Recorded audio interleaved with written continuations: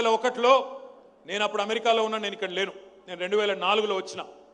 కానీ రెండు వేల ఒకటి నుంచి రెండు వేల నాలుగు వరకు గౌరవనీయులు మీ ఎమ్మెల్యే గారు ఆనాడు ఒక తమ్ముళ్ళాగా కేసీఆర్ గారికి ఎక్కడ రాష్ట్రంలో పోయినా ఎల్లారెడ్డి కాదు కామారెడ్డి కాదు నిజామాబాద్ కాదు రాష్ట్రంలో నూట పంతొమ్మిది నియోజకవర్గాల్లో ఎక్కడికి పోయినా ఒక తమ్ముళ్ళాగా కేసీఆర్ గారికి ఎన్నంటి ఉండేది. ఎన్నంటి ఉండడమే కాదు. ఆ రోజు పరిస్థితి ఏంటంటే నిజంగా ఒక్కసారి ఈరోజు చూస్తేనేమో మనం పార్టీ ఈరోజు అన్ని హంగులతో బ్రహ్మాండంగా అన్ని జిల్లాల్లో జిల్లా కార్యాలయాలతో సహా అన్ని హంగులతో సహా బ్రహ్మాండంగా ఉన్నది నాయకత్వ పటిమ కూడా మొత్తం రాష్ట్రం అంతా పెరిగింది. ఆ రోజు పరిస్థితి ఏంది? రెండు వేల ఒకటిలో జెండా కట్టాలంటే భయం. ఎవరు ఏమంటారో అని భయం. ఓ దిక్కు వందేళ్ళ సంవత్సర వంద సంవత్సరాల చరిత్ర కలిగిన కాంగ్రెస్ ఒక దిక్కు. ఇక ఇంకో దిక్కు చంద్రబాబు నాయుడు ఆయన ప్రభ అప్పుడు మొత్తం భారతదేశం అంతా వెలుగుతా ఉన్నది. ఇంకో దిక్కు కేంద్రంలో బీజేపీ ప్రభుత్వం. ఇట్లాంటి మూడు పెద్ద శక్తులను తట్టుకొని ఒక కొత్త పార్టీ రావడం అంటే మామూలు విషయం కాదు. అందులో ఏముండే ఆనాడు కేసీఆర్ గారికి? మనీ పవర్ లేదు మజిల్ పవర్ లేదు మీడియా బలం లేదు. పోనీ ఇంకా ఇతర ఇతరత్ర హంగులు ఏమైనా ఉన్నాయా అంటే ఏమీ లేవు. సినిమా యాక్టర్ కాదు పోనీ బాగా డబ్బు దశకం ఉన్న ఒక పెద్ద కుల బలగమన్న ఉందా అంటే ఏది లేదు. ఏమున్నది అంటే ఆనాడు తాను ఎత్తుకున్న అంశంలో నిజాయితీ ఉన్నది. ఆయన మాటలో నిప్పులున్నాయి కాబట్టే ఆనాడు తెలంగాణ మొత్తం అగ్గిలెక్క మండింది.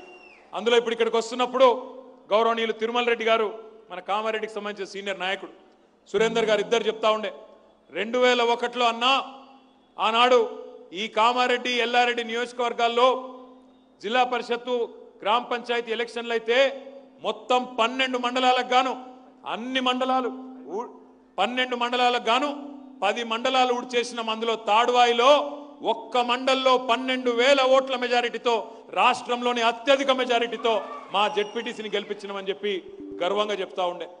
చెప్తూ చెప్తూ గౌరవనీయులు ప్రశాంత్ రెడ్డి గారు ఎందుకంటే వారి తండ్రి గారు సురేందర్ రెడ్డి గారు మొదటి నుంచి కేసీఆర్ గారికి ఒక పెద్దన్నలాగా ఉన్న వ్యక్తి. ప్రశాంత్ అన్న యాద్ చేసిండు. అన్న ఆనాడు మహబూబ్ నగర్లో ఆర్డిఎస్ రాజోలి బండ డైవర్షన్ స్కీమ్ ప్రస్తుతం అలంపూరు గద్వాల్ నియోజకవర్గం ఎక్కడైతుందో అక్కడ కేసీఆర్ గారి పాదయాత్ర ఉండే. ఆ పాదయాత్రకు మేమందరం కూడా వందల కొద్ది బండ్లు తీసుకొని బయలుదేరినాం. కానీ బయలుదేరినాక చూస్తే మా దగ్గర పెట్రోల్ కొట్టిద్దామంటే పైసలు లేకుండే. ఏం చేయాలనో అర్థం కాలే. సురేందర్ అన్నకు ఫోన్ చేసినాం. సురేందర్ అన్నకు జీడిమెట్లలో ఆ రోజు పెట్రోల్ బంక్ ఉండే. ఆ పెట్రోల్ బంక్ దగ్గరికి ఒకటి రెండు కాదు ఒకటి రెండు కాదు. వందల వాహనాలు లైన్లు కట్టి మొత్తం పెట్రోల్ కొట్టించుకున్నాం. పెట్రోల్ కొట్టించుకున్నాడే కాదు గల్ల పెట్టెలో ఎన్ని పైసలు ఉంటే అన్ని పైసలు మొత్తం ఊడ్చుకొని ఆ రోజు తీసుకొని పోయి ఆ పాదయాత్ర చేసినామని ఇప్పుడే గౌరవనీయులు ప్రశాంత్ రెడ్డి గారు చెప్తా ఉండే. ఇగో అది మీ నాయకుడి కమిట్మెంటు అది మీ నాయకుడి వ్యక్తిత్వం. పైసల కోసమో పదవుల కోసమో మరో దానికోసమో సురేందర్ గారు ఎన్నడూ కూడా ప్రజా జీవితంలోకి రాలే. కేవలం కమిట్మెంట్తో తెలంగాణ రావాలని ఆ రోజు రెండు వేల ఒకటిలో కేసీఆర్ గారితో కలిసి నడిచిండు. రెండు వేల నాలుగులో టికెట్ రాలే. కారణాలు మీకు తెలుసుగా నేను చెప్పా దాని గురించి కానీ కారణాలు ఏమైనప్పటికీ మళ్ళా కూడా ఒకటే చెప్పిండు. నేను గులాబీ కండువనే వేసుకుంటా కానీ వేరే గుర్తు మీద పోటీ చేయాల్సి వస్తున్నది పోటీ చేసి మళ్ళా కేసీఆర్ తమ్ముళ్ళాగా కేసీఆర్ దగ్గరికే పోతాను ఆ రోజే చెప్పిండు.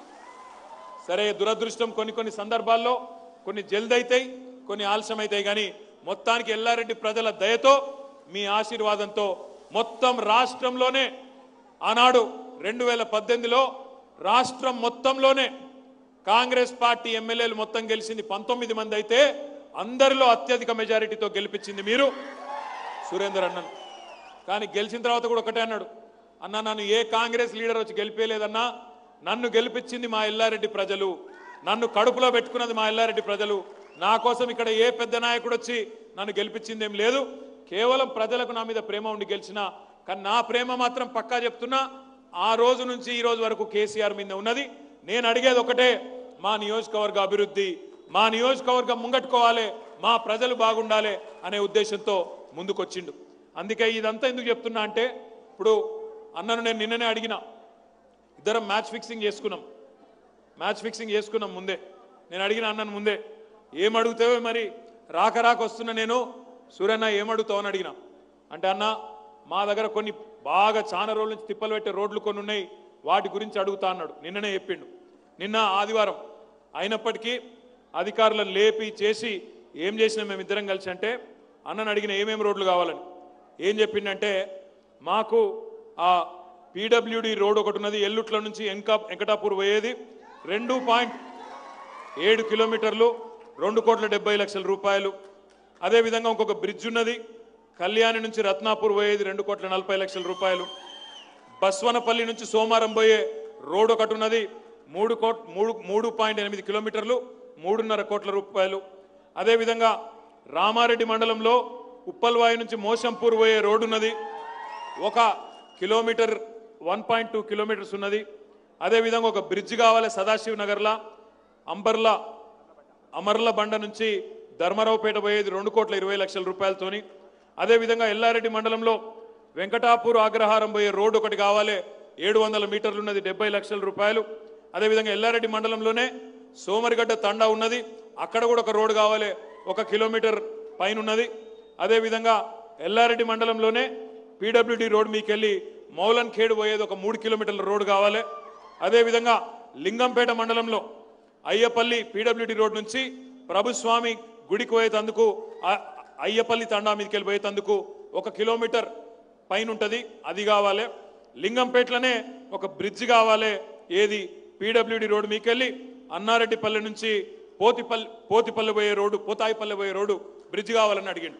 మొత్తం కలిపి ఇరవై కోట్ల ముప్పై ఒక్క లక్షల రూపాయలు నిన్ననే మాట్లాడుకున్నాం. ఇగో ఇదే గవర్నమెంట్ ఆర్డరు. ఇగో మీ అన్నగారికి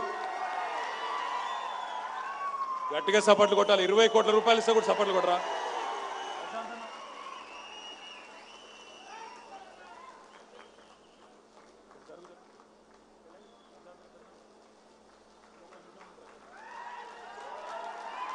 ఇంకొక మాట ఇంకొక మాట ఇంకొక నిమిషం. ఇంకొక మాట. ఇంకొక మాట ఏం చెప్పిండంటే అన్న మాకు ఇదే కాదు. మాకు మున్సిపాలిటీలో కొన్ని పనులు అయినాయి. మా వాళ్ళు కౌన్సిలర్లు సర్పంచులు ముఖ్యంగా మేజర్ గ్రామ పంచాయతీల సర్పంచులు గాంధార్ ఆయన తాడువాయి అయినా సాగు కొడుతుండ్రు నన్ను. మాకు అవిటికి కూడా పైసలు కావాలి ఇంకో ఇరవై ఐదు కోట్లు అన్నాడు. అది కూడా నిన్ననే బదులుకున్నాం. బదులుకొనిగో మరొక ఇరవై ఐదు కోట్ల రూపాయల జీవో కూడా తీసుకొచ్చినాం. అది కూడా అన్నగారికి ఇక్కడనే అప్పచెప్తా ఉన్నాం. ఇంతేనా మీ దమ్మంత గింతేనా? ఇన్ని పైసలు ఇస్తే కూడా సపట్లు కొడరా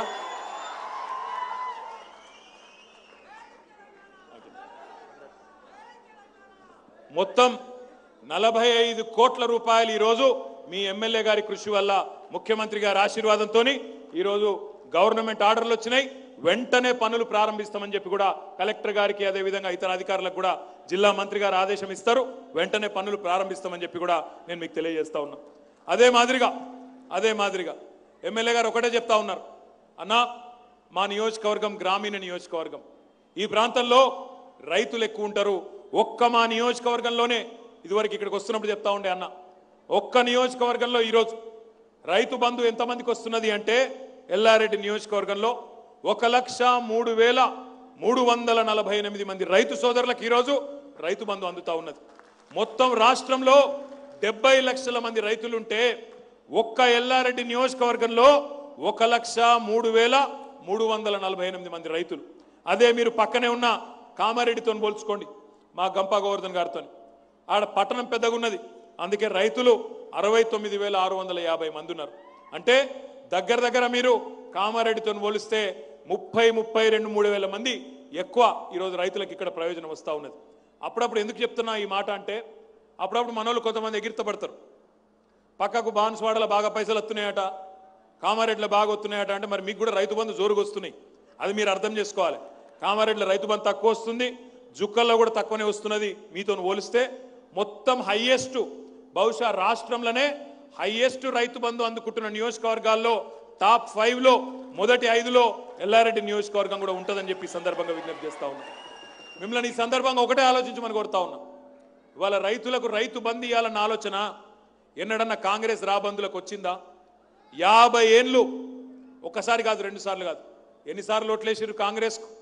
పదిసార్లు పదిసార్లు ఓట్లేస్తే యాభై ఏళ్ళు కాంగ్రెసే కదా ఈ దేశాన్ని వెళ్ళింది. ఎన్నడన్నా యాభై ఏళ్ళలో కరెంటు చక్కగా ఇచ్చిండ్రా